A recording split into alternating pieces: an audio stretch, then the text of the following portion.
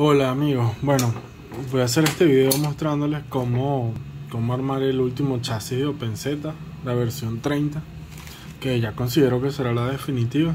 Tiene todo lo que, lo que quería que tuviera el OpenZ desde un principio. En, en este video les, bueno, les voy a mostrar cómo armarlo.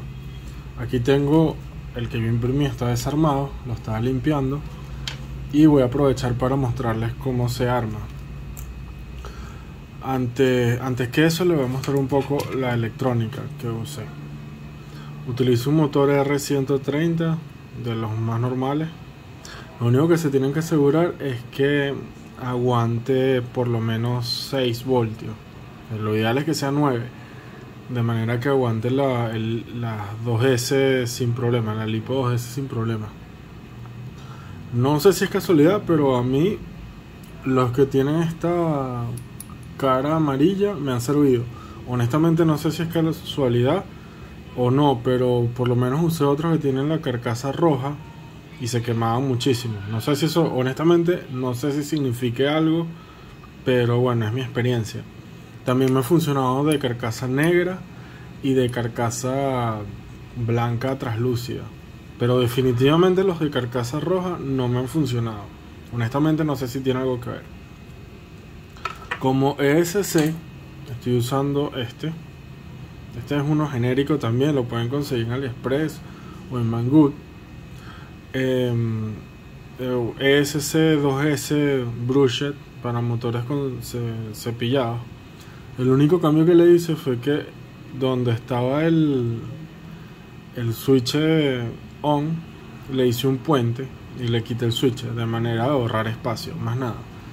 Y bueno, y aquí en el chasis lo envolví con tape y está sostenido por un por un tirraje. Eso es todo. Bueno, del receptor, pueden utilizar cualquier receptor tres, tres canales. En el chasis hay bastante espacio para, para colocarlo. A mí me ha gustado muchísimo este, este combo de que viene el FS FSBS6 y el FSGT5 como transmisor. Me gusta mucho porque este receptor tiene giroscopio incorporado y funciona muy bien, mejora muchísimo el comportamiento del vehículo. Aunque particularmente esta versión que tiene diferencial, la conducción es súper suave y súper precisa. honestamente no es tan necesario. Así que podemos utilizar cualquiera de los dos. El único detalle es que si utilizan este o uno de un formato similar que quepa atrás del servo, es preferible que lo monten de esta manera. Pero estos no van, no van a caber de esta forma. Me van a faltar. Algunos sí, otros no. Fíjense que este le falta menos de un milímetro. Bueno, con la antena ya se hace bastante más, pero casi que cabe. Este lo tendríamos que poner de esta manera. El único inconveniente de hacerlo así es que el espacio de la pila queda un poco reducido, entonces la pila puede ir hacia adelante con los cables atrás, es lo ideal. Dependiendo de la pila que tengan, puede ser que se les quepa así. Pero en general aquí hay bastante espacio para que jueguen. Lo que sí no les sugiero, esta es una pila 2S de 300 mAh. Y fíjense, fíjense que el formato es como de prisma rectangular. No es muy chata ni muy aplanada. También tenía estas. Estas funcionaban con la versión. Eh, bueno, una de las versiones anteriores de OpenZ, no, no recuerdo exactamente cuál. La que traía el Civic de cuerpo. Pero estas ya no no caben cómodo aquí. Como ven, podría caber así, pero tendrías que utilizar un receptor mucho más pequeño para que quepa aquí. O, en su defecto, yo también voy a subir otra versión de esta pieza que va a tener esta como esta base a ambos lados. Entonces de un lado podrías colocar el ESC y del otro lado un receptor plano O bueno, si vas a utilizar otro cuerpo que no sea el F40, puede ser un receptor más alto. Pero lo importante es que aquí hay bastante espacio. Con lo que sí tiene que ir a juro en su sitio es el servo.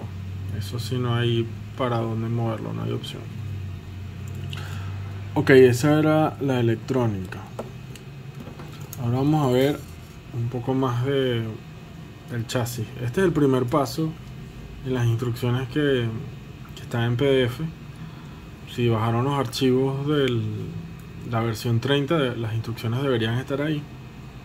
Si no, voy a tratar de poner un link aquí abajo en el video para todos los archivos las instrucciones. Estoy utilizando un servo SG90, en este caso engranajes de metal, pero se pueden utilizar cualquiera. Estos también sirven.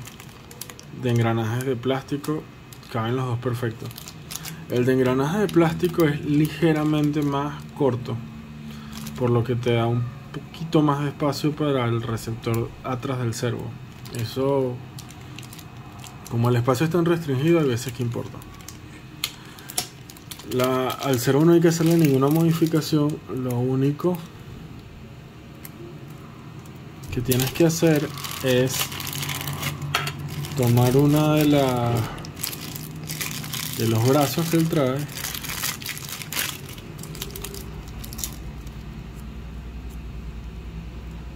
Tomar uno de los brazos. Wow esto está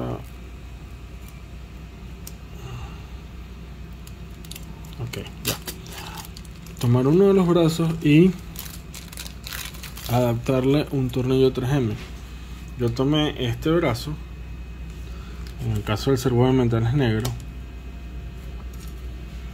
con un con una broca y el, el taladro de mano amplié el agujero hasta que cupo un tornillo 2.5M lo atornillé en sitio y recorté el brazo. Y eso es lo que pueden ver aquí. Eso es todo no, no es como tal una modificación al servo, sino al brazo, al brazo plástico que ellos traen. Eso es todo. En esta versión incluso no es necesario acortar el cable del servo. Hay bastante espacio, pero si lo quisieran hacer, bueno, tal vez puedan tener un chasis más limpio si lo hacen. Si no, justo aquí al lado hay espacio para doblar todo el cable justo aquí al lado del cero. Cae ahí. Podrías ponerle un punto de pega. Y va conectado aquí verdad eso no lo vamos a hacer aún. Ok. Entonces comencemos a armar. El primer paso es poner el servo ya eso está hecho. Es un paso bastante sencillo solamente lo tienes que colocar con los dos tornillos que trae él lo atornillas desde aquí y desde aquí. Aquí está el tornillo. Y listo. Y antes de atornillarlo por supuesto atornillale el brazo con ya el tornillo M2,5 en su lugar. Este tornillo es de 6 milímetros. Tiene que sobresalir solo lo suficiente para que atraviese el, el brazo de dirección. Más nada, 6 milímetros. Ok, el segundo paso es atornillar los brazos de suspensión. Fíjense que ellos pivotean solamente un poco. El brazo de suspensión lo depende de cómo esté calibrado tu impresora, tal vez necesites o no hacerlo, pero a mí siempre me gusta repasar los agujeros con la broca de la medida correcta. En este caso, los agujeros de aquí son de 2 milímetros. Se hace, utiliza una broca de 2 milímetros, repasa los agujeros, pones el brazo en posición como lo dicen las instrucciones y atornillas estos dos tornillos por aquí. De este modo. Pues. Aquí no hay, no hay mayor dificultad. Ese es el primer paso, la primera página de las instrucciones. Vamos a la segunda. La segunda son los hubs de dirección. En este caso, tienes que picar una barra 2 milímetros, colocarla a través del agujero del hub y dependiendo también de cómo esté tu impresora y cómo hayas repasado este hueco, es posible que necesites colocar un poquito de pega, de pegamento, para que la, la barra quede fija. Yo le puse una gotica de cianoclirato, quedó muy bien. Tienes que hacer esto de los dos lados, por supuesto. En el centro, antes de armar, pasa un tornillo M2. Lo atornillas con cuidado de manera de formar la rosca. Atornillas, desatornillas un poco, atornillas, desatornillas un poco. Hasta que salga por el otro lado. De manera que la rosca quede formada. Ahí vamos. Ahí está.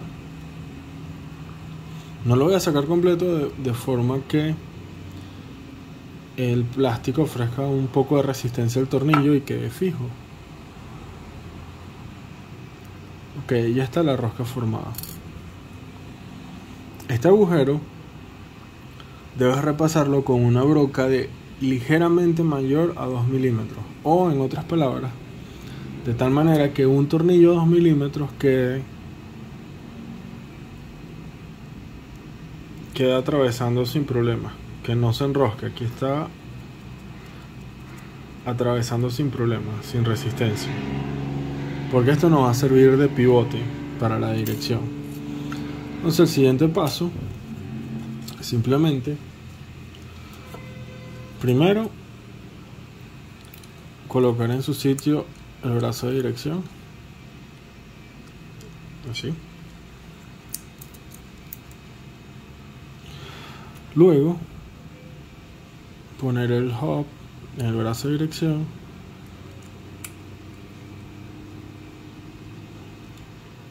Ponerlo en su sitio en el, en el brazo de suspensión.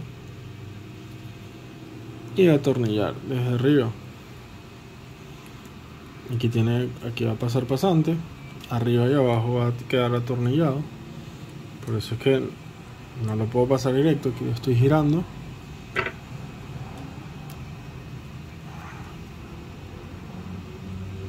Exacto. Ahí va, bueno. Pueden ver que funciona. Tienen que procurar que no quede apretado. Si quedó apretado, aflojen un poco. Esto tiene que quedar suave.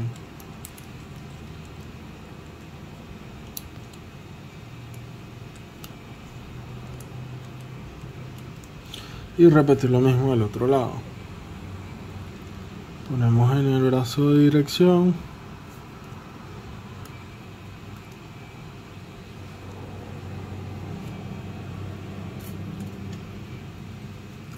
Las medidas de estos tornillos van a estar en las instrucciones, no, se preocupen. También van a haber unos planos, eso no... Esa información sí la recomiendo que la revisen con calma y completa. Ok. Y ahí quedó.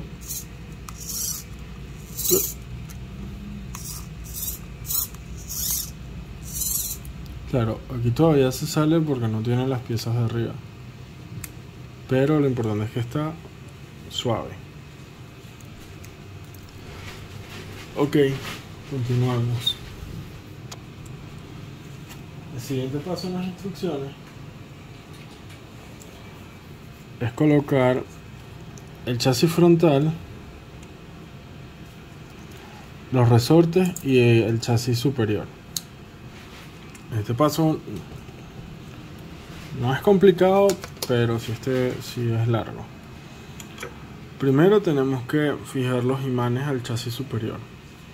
Aprovechen y pueden fijar de una vez el ESC aquí. Es más fácil hacerlo en este momento que después yo abusé un poco con apretar aquí, doble la pieza, pero bueno, no es ningún problema. Ha debido pasar es por la ranura. Bueno, no es problema. Fijan los, los imanes.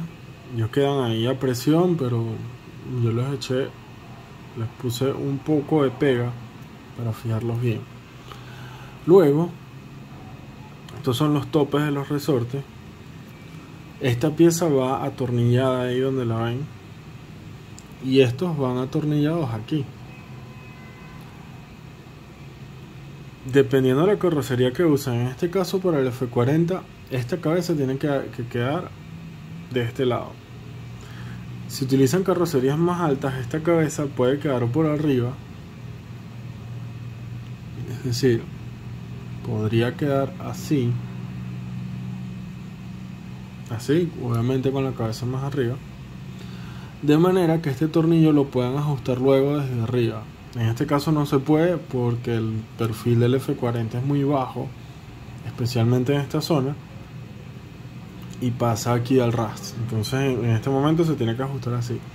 El ajuste sería que si queremos que la suspensión quede más fuerte, desatornillamos un poco y esta distancia se la vamos a estar digamos que apretando al resorte. Yo por ahora los voy a dejar a tope. Les recomiendo también que la primera vez que lo armen lo dejen a tope de manera que puedan ver cómo se siente el carro. Ok. Este está listo el chasis superior. Luego, los resortes. Esta es la parte un poco tricky. Los tenemos que poner en sitio. Y a la vez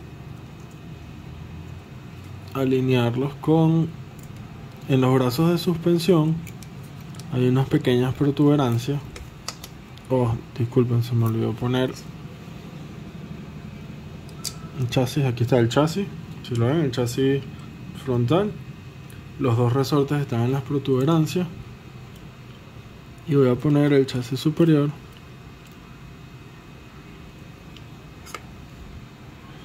Fijándome que los resortes queden alineados con los tornillos y los topes.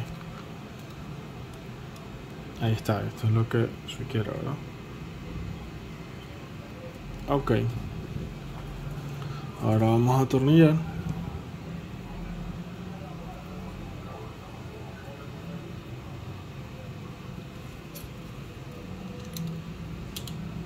estos tornillos deberían entrar pasantes desde aquí a aquí.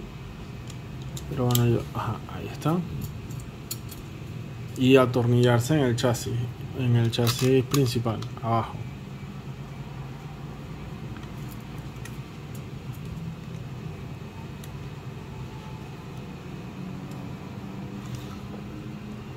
Ok ahora atornillamos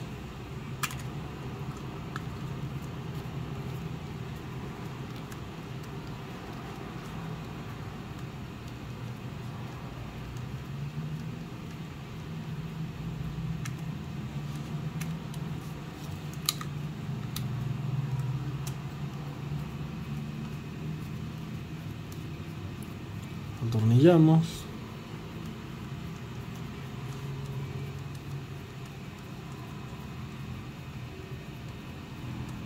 Uf.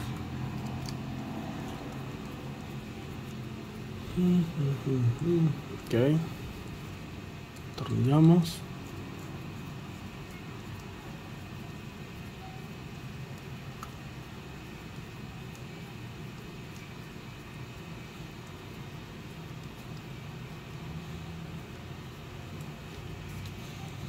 Asegúrense de no apretar tanto los tornillos porque pueden dañar las roscas en el plástico.